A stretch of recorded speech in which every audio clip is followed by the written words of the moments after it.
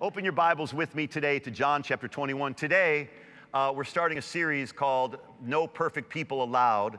And, um, and the reason why I wanted to share this, this, this teaching with you, this, this, this concept with you, it's not really a topic, but it's more of a concept, is because every one of us come to God broken. But you know what I notice is that it's not just before we're saved that we make mistakes, but we all make mistakes after we're saved too. And God's standard doesn't change. God's grace doesn't change for his children than it did for th- those of us that got saved before we were saved. We were children of the devil, the Bible says, but now that we're born again, we're children of God. And but God God's grace reached us when we were lost, going to hell, children of the devil. And if God's grace could reach us then, why is it that so many Christians are judgmental and they think that God's grace isn't sufficient for us after we're saved as much as it was before we were saved? So I get it that once you're born again, uh, you should sin less, but the fact is, is we still, um, we still struggle. Even Paul said in Romans chapter 7, he said, he said, Look, uh, I, what I want to do, I don't end up doing, and the thing that I don't want to do, I end up doing. So, Paul, the great apostle, struggled.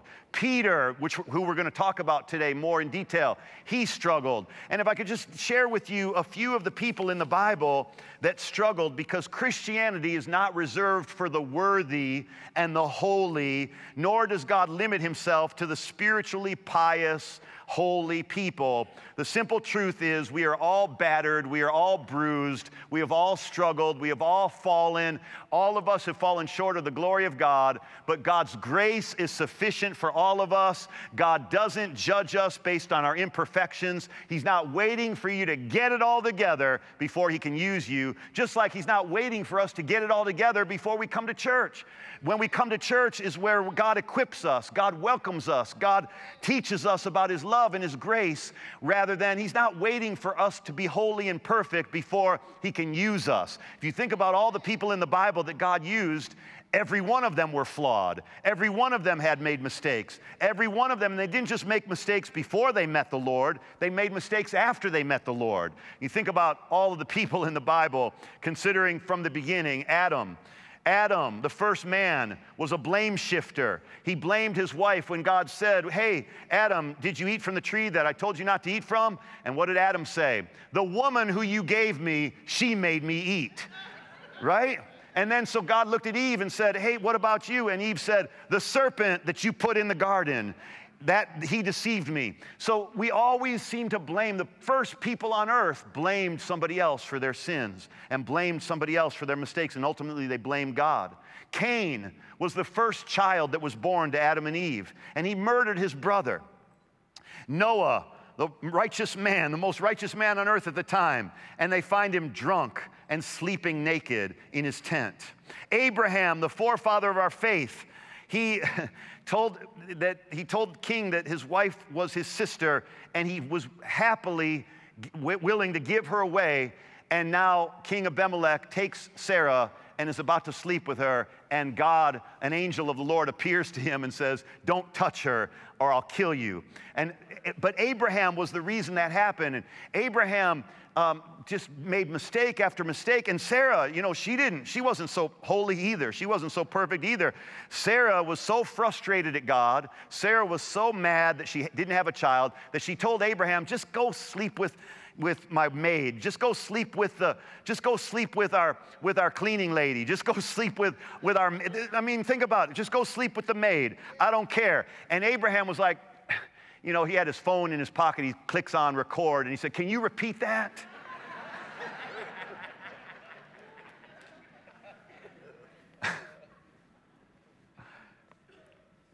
You think of Job.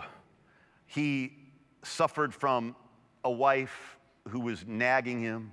He suffered from a fear that was nagging him. He suffered from a self righteousness that was nagging him. And yet God used him.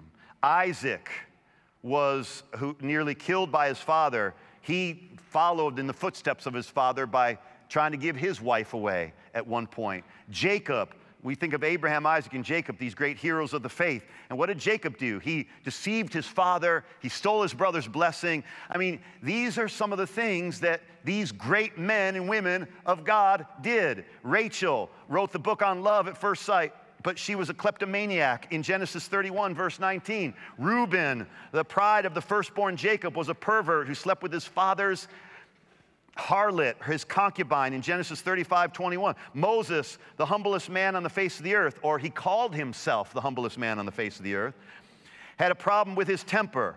He was a stutterer. Aaron, who watched Jehovah triumph over Pharaoh, formed an idol during an apparent episode of attention deficit disorder uh, or perhaps colossal amnesia. Miriam, the songwriter, was jealous of her brother and greedy for power. Samson, who put the greatest strongest men in the world to shame, was hopelessly enmeshed with a disloyal wife and full of lust in his life. We can go on and on and on with these people. David, the friend of God, concealed his adultery with murder.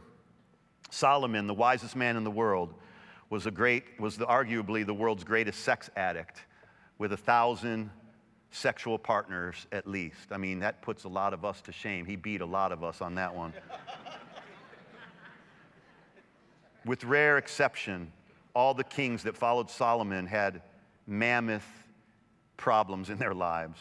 Hosea had a wife who could be, who could be described herself as a sex addict, a harlot, an adulteress. The prophets, as they spoke for God, struggled with depression. They struggled with brokenness. They struggled with pain, anger, fear, jealousy. So, what is the point? That God is unashamed in describing the human condition and in giving us examples in the Old Testament and the New Testament of people that had failed and people that had fallen short. And yet, God still loved them, and God still used them, and God still trusted them, and God still believed in them, and God still embraced them and God still called them to his purpose. We have no excuse, no matter how many mistakes we've made. None of us have probably covered up our adultery with murder. Maybe we covered up our adultery with lying, but only David that we know of covered his adultery with murder. How many know that you know, God says to every person, I mean, he comes up to the woman at the well in John chapter 5 and says, Go. And she's like, Man, this is great what you're sharing with me. Give me this living water. And he said, I'll give you living water, but go and get your husband and bring him with you. And she said, I don't have a husband. And Jesus says to her, You're right. You don't have a husband, but you've had five husbands, and the guy you're living with now, he's not even your husband. But go get him anyway because God is the God of mercy, and God is the God of grace, and God is the God of forgiveness, and God is the God of second chances and third chances. And this lady, this lady was married five times. If anybody here has been married five times, you most likely perceive by most of society and culture that you got a real problem. Because look at you can't be committed and you can't stay married and you don't know what was in her life. You, we don't know how abused she might have been as a child. We don't know what david's history was as a little boy. We don't know how we don't know what moses' problems were growing up. We know of, we get a little glimpse of it but we have no idea what peter grew up with what paul grew up with. But we go ahead and judge him. We have no idea what the woman who was caught in adultery in john chapter 8 we don't know what was going on behind the scenes that caused her to find herself in that lifestyle. But we can't look at people and judge them because we somehow think that we're better than them. But rather, we need to look at every person that's ever fallen and struggled and see ourselves in them and realize that if God can redeem them, if God can restore them, if God can use them, if God can redeem and restore and use them, He can redeem and restore and use us as well. Can you say amen to that?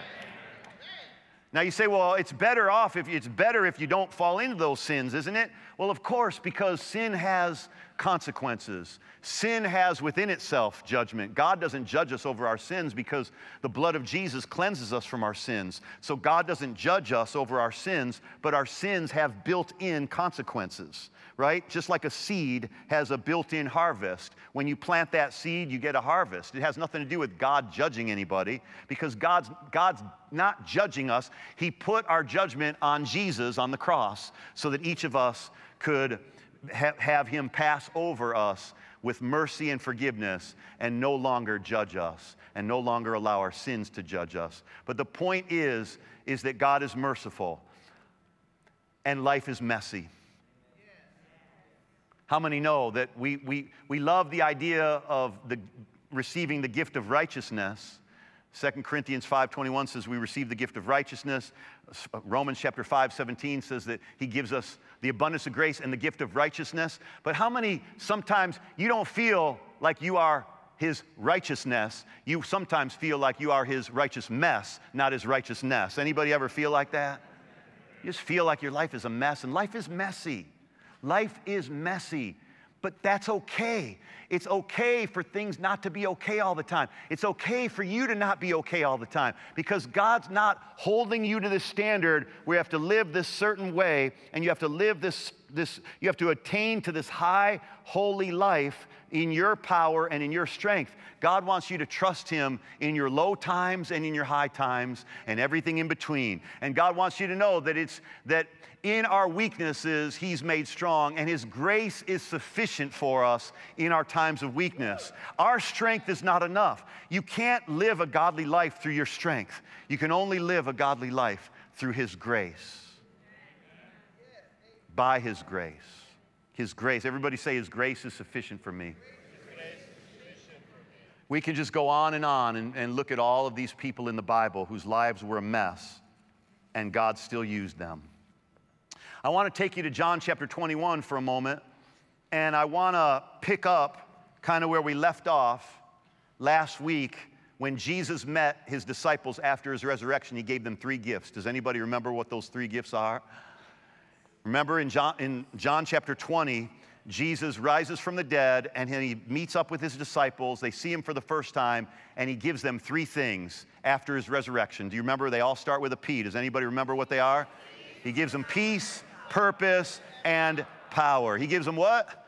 Peace, purpose, and power. And we're going to zero in on purpose for a moment today. We're going to zero in on purpose because because the, the, the antidote, the cure for a broken life is purpose. The cure for a lonely life is purpose. The cure for a depressed life is purpose. You see, uh, loneliness cannot be uh, can, loneliness cannot be solved by just having friends. Because how many know you can have a lot of friends and still be lonely?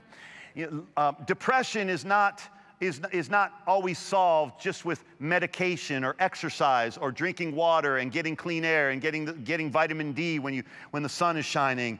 Uh, uh, depression is not always solved because there are a lot of people that exercise and they're still depressed. There's a lot of people that are on medication and they're still depressed. But I believe that, that purpose is the antidote. It's the cure for depression. Is it the only cure? No, but it's a part of the cure. It's a part of the process of what God does to bring us out of our low times and our discouraging times. A holy life, a perfect life will never bring you happiness and joy. It will live it will cause you to live under the gun of always having to do better and to live holier and to you know make sure you never do anything wrong and you never make a mistake. But God doesn't want us to live under that burden. He said, "Take my yoke upon you. My yoke is easy, my burden is light." If his yoke is easy and his burden is light, why are so many Christians having such a hard time in their relationship with God? and having such a hard time walking with God because they haven't discovered God's grace and God's mercy, and they're beat up and they feel condemned, and we feel guilty sometimes over our past and over our lives. Well, well, Peter was a man just like that. So in John chapter 21, it says, After Jesus, in verse 1, revealed himself to his disciples again by the Sea of Tiberias, he revealed himself in this way. And now he describes it. He says, Simon Peter, verse 2, Thomas, called the twin, Nathanael of Cana in Galilee, the sons of Zebedee, and two others of his disciples were together. And notice what happens. And Simon said to them, Simon Peter said to them, I'm going fishing. And so my title of this teaching today is Gone Fishing. Peter says, I'm going fishing. Now look at Peter is Peter has just had an encounter with Jesus. Peter has just seen the resurrected Christ, the resurrected Messiah, and Jesus has just given him peace, purpose, and power.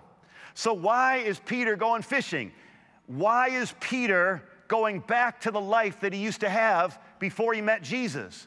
And I'll tell you why shame. Shame. Guilt. Because even though he saw Jesus resurrected, and even though Jesus said, I give you peace, I give you purpose, and I give you power, Peter can't get out of his head the three times he denied the Lord just prior to Jesus' death.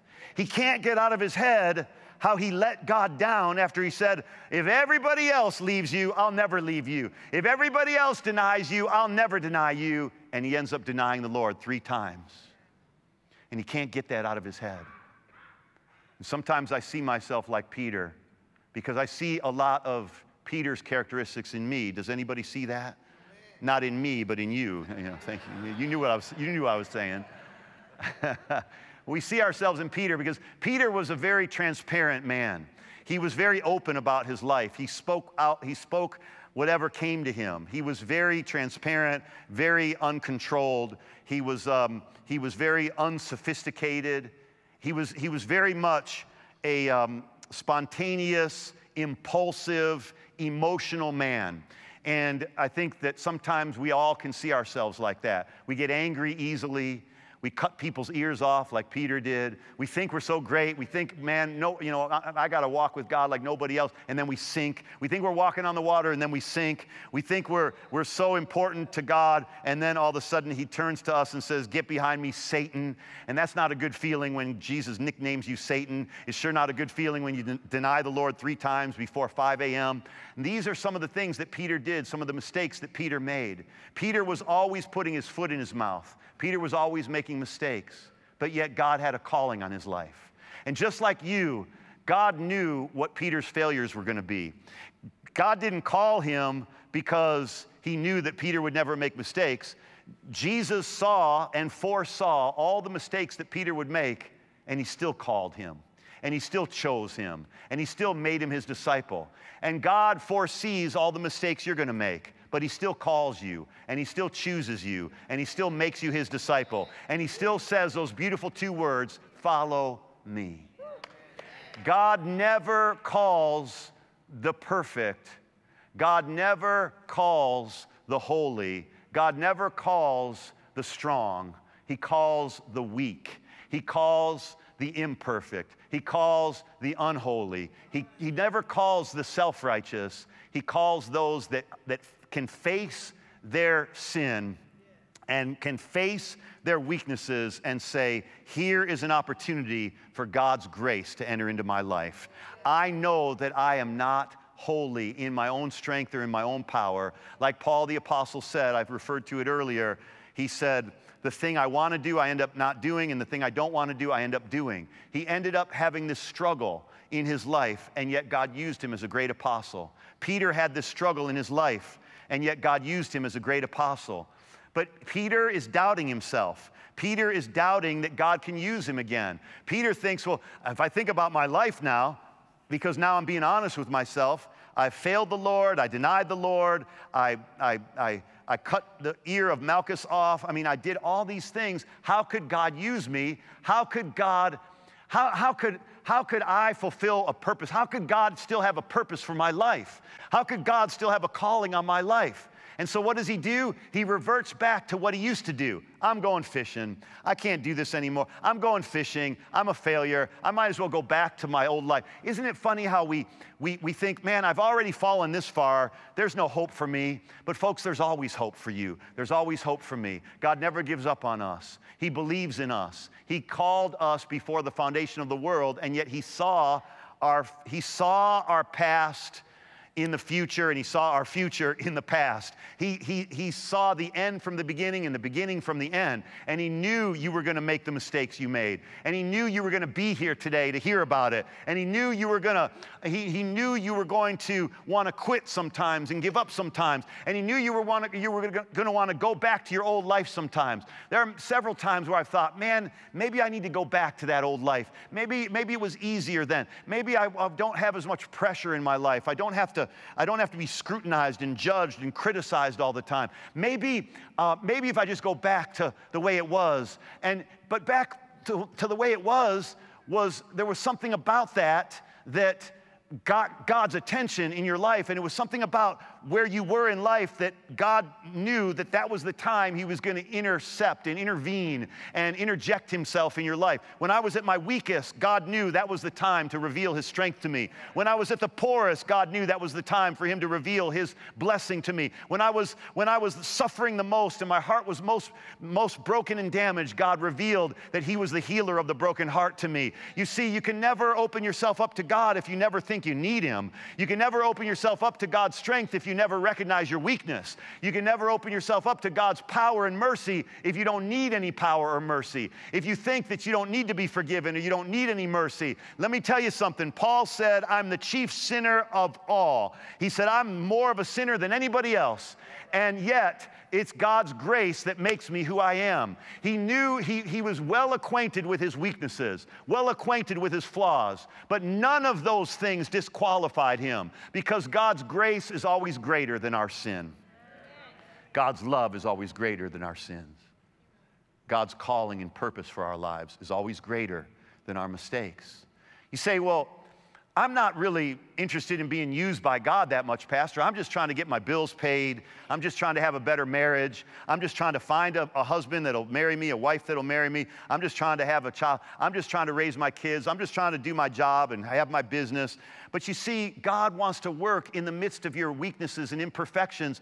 God wants to use you. And you might think, well, I don't really need to be used by God. I'm not an apostle like Peter. But you see, every one of us are called by God to fulfill his purpose for our lives. Every one of us have a purpose. Jeremiah 1, verse 5 says, Before you were in your mother's womb, I knew you, and I called you, and I consecrated you. God had a purpose for your life before you were even born. And what the goal in life is to discover that purpose and then then walk in it. The goal in life is to find out what we were born for, find out what we were created for. Maybe you're a doctor, but that's, that's your occupation, that's not your destiny. Maybe you're a teacher, that's your occupation, but that's not your destiny. Maybe you're a lawyer, maybe you're a, uh, maybe you're um, a sanitation director, maybe you're a, maybe you're a janitor. It doesn't matter what your occupation is, you have a high calling from God, a purpose that nobody and nothing in this world can stop God from bringing to pass pass if you, if you get out of the way.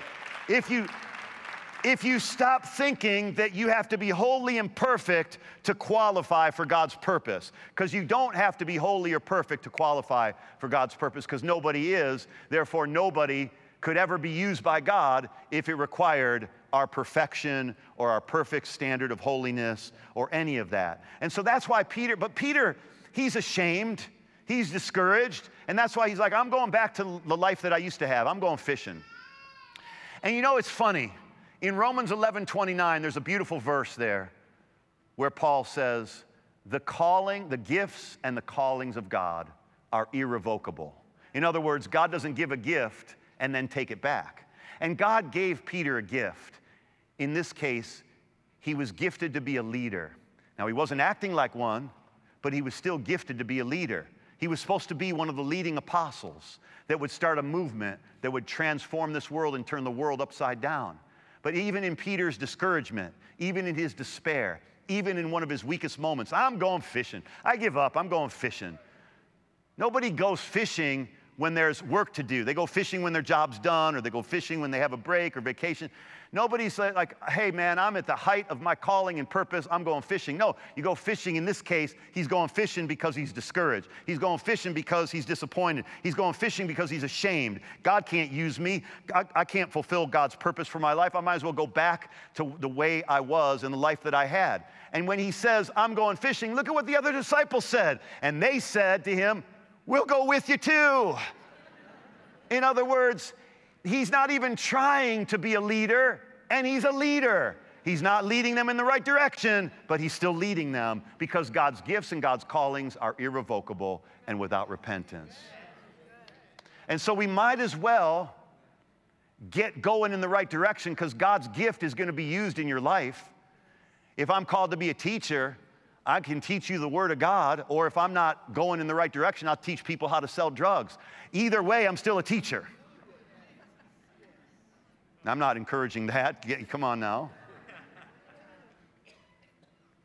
But you see, your gift is still gonna, it's still gonna work. It's gonna work in the wrong direction. And in Peter's life, He's still a leader. I'm going fishing. Well, we'll go too. So they went out and immediately got into the boat. And that night, these great fishermen caught nothing. Isn't it funny? It sounds so familiar. They caught nothing. It sounds familiar, doesn't it? They fished all night and caught nothing. Now, if we were, if this was a movie playing right now, and and if, if we right now were in a movie and I'm telling this story in this movie, you know what would happen right now? We'd have a flashback moment and we would go back to a scene in Luke chapter 5 and you know peter's hair would be longer and he would look a little younger maybe a little thinner. And, and we'd go back to this scene uh, where, he, where he's fishing all night and they caught nothing. And the lord speaks to him and says he gets in his boat and says remember? He says now launch into the deep and let down the nets for a catch. And peter says lord we have fished all night because he was british right? Lord we have fished all night and caught nothing but at your bidding we will let down the net. So he lets, so they do, he does what Jesus says. They let down the net and they get a great catch of fish, so many that the net starts breaking and they have to call their partners over. Remember all this in Luke chapter 5? They had to call their partners over and they had to say, Come and help us. And it took two boats to fill up on the fish that had filled the net after they had fished all night and caught nothing. And so, what is the Lord doing here by doing the second identical miracle in Peter's life. It's an identical miracle. I'm going fishing. And then they and then the disciples go with him and they catch nothing all night. Look at what happens in verse 4. And so Jesus, but when the morning had come, Jesus stood on the shore, and the disciples did not know that it was him. I don't know how they did not know that it was him they had just seen him of chapter earlier. And remember what he said just a few verses ago in verse 19, 20, 21, and 22 of John chapter 20. Jesus just said, Peace I give to you, purpose I give to you, power I give to you. He just gave them peace, purpose, and power. And now they go fishing.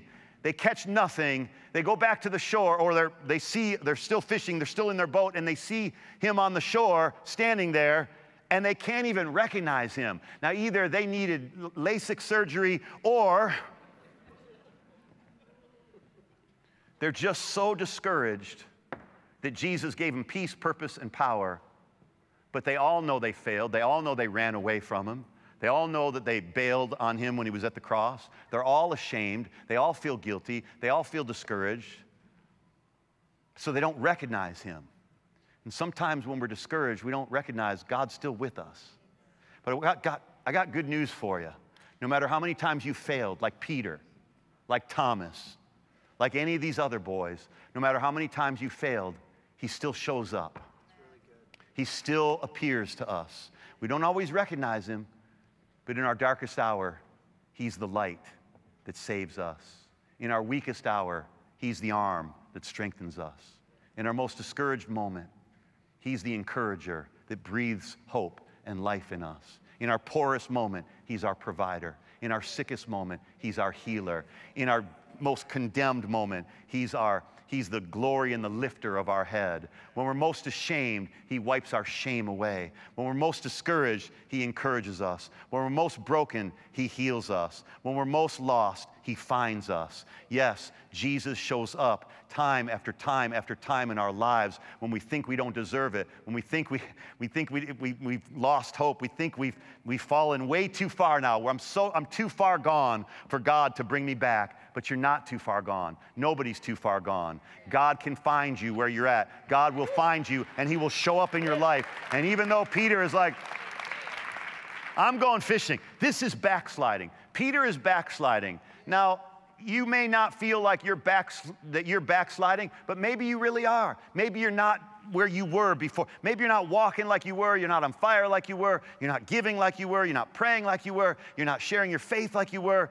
And it's okay because Jesus still finds you. He doesn't go find the guys that are doing all the, he, he's not just finding the people that are doing great, he's finding the people that are not doing great. He didn't show up because they were praying. They weren't praying, they were fishing. And Jesus didn't show up to collect the tithe off of their fish because they didn't catch anything. Jesus doesn't show up to get something from them. Jesus doesn't show up because they've done so well. Jesus doesn't show up because they've had such a great night. Jesus shows up because he will always show up because you are his and you belong to him and he's merciful and he's good and he's gracious and he loves you and he made a deal with you that he will never leave you or forsake you. So in your worst moment, he's not about to leave you now. When you caught nothing, he's not about to leave you now. When you're backslidden, he's not about to leave you now. The disciples didn't even recognize him. So in verse 5, he's, I guess he's, he's thinking, well, why don't, I, why don't I remind them of what I do and who I am? So he says to them, Children, isn't it funny what he calls them? Children, have you any fish? Have you caught any? One translation says, Have you caught anything? And they said, No. Why does he call them children? Because that's how they're acting right now.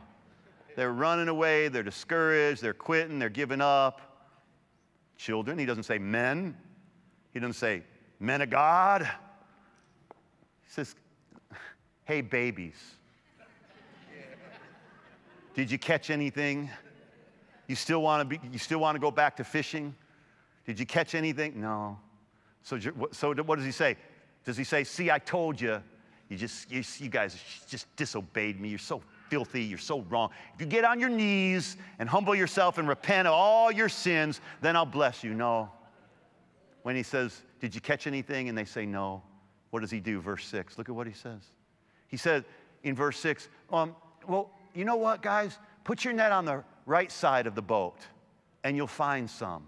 So they cast their net, and now they were not able to draw it in because of the multitude of fish. Sound familiar? Jesus is taking them back to when they first were in awe of him. He's taking them back to that time when they first met him. He's taking them back to that demonstration of his grace and his goodness when he first revealed his goodness to them and they began to follow him. He's taking them back to show them that, guys, even though you changed, I haven't changed. Even though you went back to fishing, I haven't gone back. I'm not giving up on you guys. Even though you've given up on yourselves, even though you've given up on me, I'm not giving up on you. I'm still gonna make you fishers of men. I'm still gonna fill your boat. I'm still gonna fill your net. I'm still gonna bless you. I know you've blown it. I know you cut people's ears off. I know you went back to your old ways. I know you went back to fishing. I know you went back to depending on yourself to, to supply your needs. But I'm still gonna show you that I love you and that I supply all your needs. And so they catch this great catch of fish. In verse 7, it says, Therefore, the disciple whom Jesus loved, of course, John is writing about himself, and he says in John 21 7, Therefore, the disciple whom Jesus loved, he's talking about himself, like Moses said, Moses, the humblest man in the world. I think you lose your your humble award when you call yourself humble, right? So the disciple whom Jesus loved says to Peter, It is the Lord. Wow, brilliant deduction, John. It is the Lord. Like, you, they didn't recognize him when he was on the shore. They didn't recognize him when he was speaking to them because they didn't recognize his voice for some reason. And he has to give them this great catch of fish for them to be reminded and remember oh, yeah, Jesus is a miracle worker. Jesus is our provider. Jesus is good to us even when we've been imperfect and even when we've failed and even when we've blown it and even when we've made mistakes. And folks, who hasn't been there? Who hasn't gone fishing and given up? Who hasn't felt like quitting? Who hasn't felt like God's done with them? I've had so many people come to me and say, God could never use me again. I say, why? Well, because I did this and I did that. I say, okay, David, okay, Moses, okay, Abraham, okay, Sarah, because God used them. Okay, Paul, okay, Peter. You think God can't use you? You haven't done worse than them. They've done way worse than you. Yeah, but we're saved and we're not supposed to be like that. But Paul was saved, but he was struggling. Peter was saved, but he was struggling. Thomas was saved, but he was doubting. You, you, folks, we've got to we've got to not be so hard on ourselves. Because the only reason we're judgmental of others is because we're so judgmental of ourselves. And I'm not saying that go easy on yourself in the sense that just go sin and do whatever you want and God's, God's grace is sufficient for you. And while it's true that His grace is sufficient for you, that's not an invitation to go out and sin, but it's an invitation to realize that your goodness and your holiness or your unholiness and your lack of goodness does not disqualify you for God's blessing and God's goodness and God's provision and God's power in your life. And God doesn't take back his gifts. He called you and you have a purpose in life and he's not taking it back now. So what happens? John says to Peter, It's the Lord.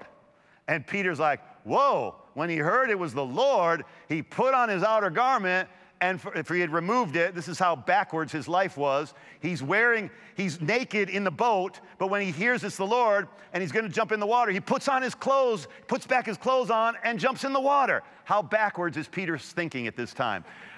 And he plunges into the sea, and verse 8, look at what happens. But the other disciples came in the little boat that they were not far from the, from the 100 cubits, dragging their net of fish. And verse 9 says, And as soon as they had come to the land, they saw a fire of coals there and fish laid on it and bread. So Jesus had made them breakfast. He started a barbecue. There's charcoal, there's fire, there's fish, and there's bread. He always provides. He never stops giving. He never stops showing his goodness, no matter who you are, no matter what you've done, no matter where you've been, no matter how far you fall in. And verse 10, look at what he says. Look at what happens. And Jesus said to them, Bring some of your fish, which you have caught. Let's, let's kind of compare your fish versus my fish. Let's see which tastes better. And uh, verse 11 Simon Peter went up and dragged the net full of large fish, 153 fish, big fish. And although there were so many, the net was not broken. Verse 12, look at what happens. And Jesus said to them, Come and eat. Come and eat. This is God's invitation to all of us. We can't fulfill God's purpose until we eat from His hand. When we eat from His hand, we can then be an extension of His hand. But we have to eat from His hand so we can be an extension of His hand. We have to eat, come and eat. His invitation is always come and dine, come and eat, come and partake. Let me provide for you, let me give to you. And none of the disciples dared ask, Who are you? Because they knew it was the Lord. Verse 13, look at what happens. And Jesus then came and took the bread and gave it to them, and likewise the fish. Sound familiar? There's always bread and fish and provision and miracles and abundance and God's goodness and God multiplying stuff and miracles happening. In verse 14, they ate, and now it's the third time Jesus showed up and his disciples after he was raised from the dead. Verse 15, look at what happens. So when they had eaten breakfast, Jesus says to Peter, Simon, son of Jonah, do you love me more than these? So now, let's put some things together here as we tie this all in to what's happening. Because Peter loses his sense of purpose and he goes back to his old ways and he goes back to providing for himself rather than God providing for him. And he goes back to what he thought his calling was to be a fisherman rather than going forward in God's calling for his life and God's purpose for his life. And he's wasting his life by going back fishing because when you don't understand the purpose of a thing, you'll abuse that thing. When you don't understand the purpose of your life, you'll abuse your life. When you don't understand the purpose of money, you'll abuse your money. When you don't understand the purpose of children, you'll abuse your children. When you don't understand the purpose of marriage, you'll abuse your marriage. When you, whenever you don't understand the purpose of something, you'll abuse that thing. When you don't understand the purpose of your body, what is your body created for? To be a temple of the Lord, to be a temple of the Holy Spirit. When you don't understand your purpose, you'll, you know, you'll abuse your body, you'll abuse your relationships, you'll abuse abuse yourself, you'll abuse your career, you'll abuse, you'll, you'll, and you'll, if it's not abuse, you'll misuse it. When you don't understand the purpose of something, you'll misuse it or you'll abuse it. And this is where Peter's at in his life. And God wants to reveal and restore Peter's confidence and Peter's faith and Peter's purpose. So when he decides he's going to go fishing, he is depressed, he's lonely, he's weary, he's given up he's ashamed because he denied the Lord three times. But listen, why does Jesus plan the second miracle, this identical miracle? It's to take Peter back to the moment of his calling. It's to take Peter back so he'd remember the moment when Jesus became so awesome to him. And in life, when you're down, God wants to take you back to that moment that you became in love with him. And when you we're in awe of him. And right now in your life, God's trying to take you back to that moment. By giving him this miracle of these fish, he's trying to take him back to when he first met him. He's trying to let him know, you might have changed, Peter, but I haven't changed. You might have gone back to an old calling and purpose you think you had, but I'm still calling you to the new purpose that I have for you. I can't help but to wonder that Peter ran to the shore smelling the charcoal, and he must have been reminded of the charcoal of the fire that he was warming himself by after he denied the Lord three times. But Jesus chose him even though he foresaw his future failures. And he chose you, and he chose me, even though he foresaw our future failures. And Jesus wants us to know he's ready to restore you to your great purpose and his great destiny for your life. Because in Romans 8 28, notice what, what it says. You remember this verse, and in the New American Standard Bible, it says, For we know that God causes all things to work together for good. Romans 8 28, we know that God causes all things to work together for good. He doesn't cause all things. The sentence doesn't end there. He doesn't call all, he doesn't cause all things, but he causes all things to work together for good to those who, now notice the two qualifications, to those who love him and who are called according to his purpose. Now we already know, now so why is Jesus now on the, on the shore of the Sea of Tiberias? Why is Jesus now asking Peter, Do you love me? Because Jesus wants to remind Peter that it only, there's only two qualifications for God to fulfill his purpose in your life. There's only two qualifications for God causing all things to work together for good in your life, even your mistakes and even your shortcomings. There's only two qualifications, and here's what they are. He said, God causes all things to work together for good. To who? To those who love God and to those who are called according to his purpose. And so, what he is reminding Peter is by providing these fish, he's reminding Peter, I have called you according to my purpose. I am still committed to making you a fisher of men, no matter how discouraged you are, no matter how defeated you are, no matter how imperfect you are. I have still called you according to my purpose. And he wants to remind him and tell Peter, look, all you need to focus on is your love for me. And by the way, the only reason that you can love me is because I loved you first. The only reason we love God is because 1 John 4:19 says we love him because he first loved us. And so what Jesus is doing is he is restoring to Peter the two things, two points of confidence that every one of us must have so that we will expect God to cause all things to work together for good in our lives, even our mistakes, even our imperfections, even our shortcomings. God will cause all those things to work together for our good. Something good is going to come out of your day. Something good is going to come out of your mistake. Something good is going to come out of what somebody did to you. Something good is coming out of that because God causes all things to work together for good. To who? To those that love Him and are called according to His purpose. And so in John chapter 21, Jesus has already proven to Peter, I still called you to be a fisherman. I'm, my calling for you and my purpose for you is irrevocable, and I'm not taking it back. I am still calling you. But now he needs to remind Peter and give, restore to Peter his confidence that even though Peter's blown it, he still loves God. Sometimes we blow it and we make mistakes and we, and we, we start wondering, maybe I don't love him anymore. Oh, and then the devil will condemn us and say, You don't love God. If you really loved him, you would have you would have obeyed here, you would have done this, you would have done that. But you know what? David loved God, but he blew it. Moses loved God, but he blew it. Paul loved God, but he blew it. Peter loved God, but he blew it.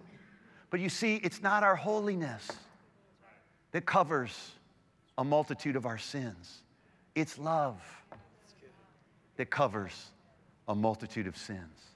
It's love. And P- Jesus says to Peter three times, Do you love me, Peter, more than these, more than these fish, more than this old calling, more than this old purpose? Lord, he says in verse, uh, was it 15 or 16? Lord, of course, you know that I love you. Jesus said, Feed my sheep. If you love me, get back on purpose. Then he asks him again, Do you love me, Peter? And he said, Lord, you know I love you. And he said, To get back to feeding my lambs. And then I think it's in verse 17, he says, For a third time, Peter, do you love me? Third time. Why a third time? Why does Jesus want Peter to declare his love for him a third time? Because Jesus is redeeming Peter's three denials with Peter's three declarations. He's redeeming his three denials with three declarations, and he's saying, Peter, your denial, that's not who you are. That's a mistake you made, but that's not who you are. Here's who you are you're a lover of God. You might, you might have blown it, you might have made tons of mistakes, but I know you love me. I just want you to know that you love me. So I want you to say it. I love you, Lord. And that's why Jesus, that's why Peter the last time says, Lord, you know all things. You know that I love you. And Jesus said, Feed my sheep. Get back to your purpose. Get back to your first love. Get back to what I called you to. But I'm so unworthy. Get back to feeding my sheep. Get back to reaching my lambs. Get back to helping the hurting. Get back to church and get serving again. Don't worry that you blew it. I know people, they, they give up. They say, I can't serve anymore. Why? Well, I don't have enough time. But what they're really saying is, you know, I, I fell into sin last week and I just feel beat up. And every time I come to church here, I feel condemned. Well, you shouldn't feel condemned here because we've all fallen short and we've all blown it. And the church is often a hospital, a place to heal the sick. You don't, you don't beat somebody up. I, no, what doctor, what nurse lets, admits you to the hospital and says, How dare you get shot? How, how dare you have a stomach ache? How dare you fall into that sickness and fall into that disease? The doctor doesn't do, do that. How dare you take those drugs and now we're having to pump those drugs out of you? He says, hey, look, just get the pump. Let's pump that drug out of you. God's going to restore you. They want to heal you, they want to restore you. How much more do you think God wants to heal you and restore you? He doesn't want to beat you up in the hospital. He wants to, he wants to bandage you up in the hospital and he wants you to get back into God's purpose and God's destiny for your life. If you believe that, let's stand together and let's, let's pray together and let's believe God that He will restore each and every one of us to truly understand we love Him and we're called according to His purpose. And so He's going to cause all things to work together for your good.